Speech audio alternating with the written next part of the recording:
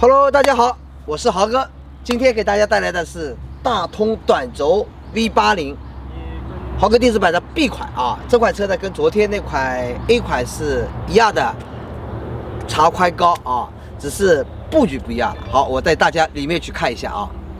好了，我们从驾驶室的左手边跟大家说起来啊，啊，驾驶室后面也就是会客区的地方是一个推拉式的双层的窗户啊，这个窗户就。很多客户就是说，呃，车友跟我反映，就是说要做一个开车的时候坐在后面可以通风啊，这个就是有通风。缺点下雨天就打不开啊。好了，来镜头跟进啊啊，这个地方，这个是一个新能源的一个七孔插孔，大家看一下，新能源的啊。好，来镜头再跟着我下面走，这个是一个加水口啊，这是一个加水口啊，重力注水口。给大家先看一下储物空间啊，下面啊虽然不能说很大吧，但也能放一些东西啊。好了，接下来我带大家从里面看一下啊，先门打开，电动踏步，然后这里有一个遮防蚊的纱窗啊，这里还有一个啊防蚊的纱窗。好了，我带大家里面看一下。好，进门的右手边就是驾驶室的位置啊，大家看一下。这是一个六速的 AMT，也就自动挡的变速箱啊。这个是短轴版的，主副驾驶都可以转过来啊，来跟后面形成一个会客区。大家看一下啊，这个设计呢是一个上下铺的设计。大家看一下，这个沙发放倒跟那边铺开是形成一个大概两米二的床，两米二长度的一个床，宽度是九十公分。上面还有一个吊床啊，给大家演示一下啊。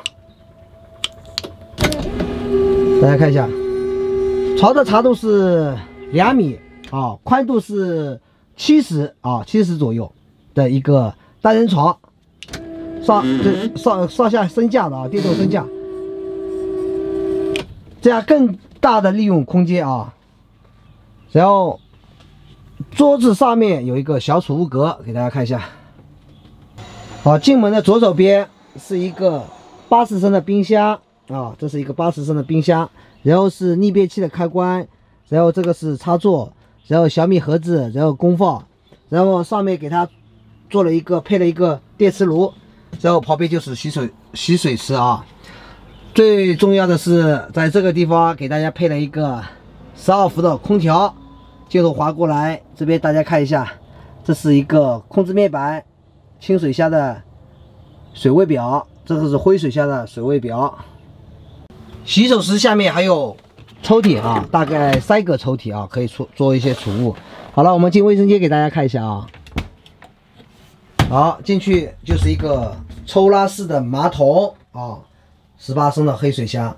然后这里是一个洗水池，然后这里是储物的啊，可以放点小的东西。然后上面是一个换风扇。这个地方是因为装不了窗户啊，所以一直没装。好了，我这个下面的床位置，我给大家演示一下它怎么拼啊，怎么拼起来，然后形成一个多大的一个空间啊？我给大家用视频的形式给大家放一下啊。好了，现在床铺好了，给大家看一下啊。这个就形成一个两米二到两米三的这样一个长度，然后宽度是九十厘米的一个超级大床。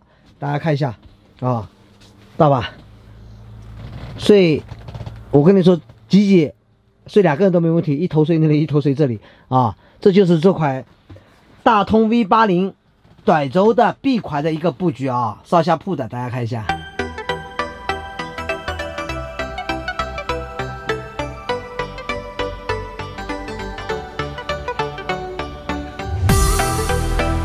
好了，跟大家说说这款车的配置啊。这个车的长宽高跟我的那个大通 V 八零短轴的 A 款是一样的，呃，五米，五米长，宽是两米啊，都还差一点点啊。高度是五米，呃，两米五十八啊。然后里面的配置跟大家说一下：一百二十升的净水箱，六十升的灰水箱，三千瓦的逆变器，然后四百八十安时的铅酸电池啊，因为考虑到一个成本，然后是。呃，八十升的冰箱，十二伏的顶置空调，还有电磁炉等等等等一些小东西了啊，具体就不阐述了。啊，这款车参加明天，哎，就是说十八号到二十号的上海房车展，价格呢还是二十三万九千八。豪哥呢也会在展会现场，对这款车有兴趣的或者有需要的，可以现场来找豪哥，豪哥也会给你一些建设性的一些东西。然后呢，一些小细节我已经跟厂家说了，呃，到时候适当的会做一个调整啊。好了，今天的视频就到这里，谢谢大家，拜拜。